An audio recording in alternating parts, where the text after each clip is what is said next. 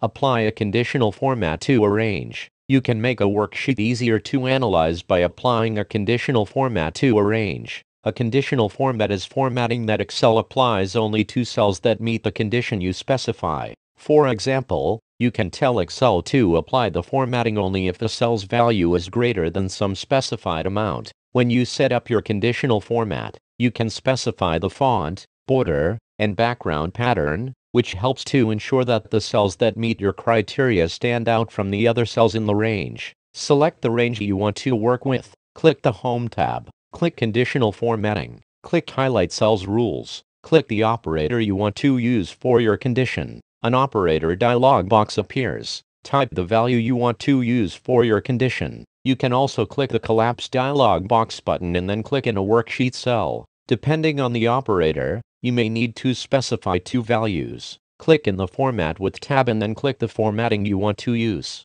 To create your own format, click Custom Format. Click OK. Excel applies the formatting to cells that meet your condition.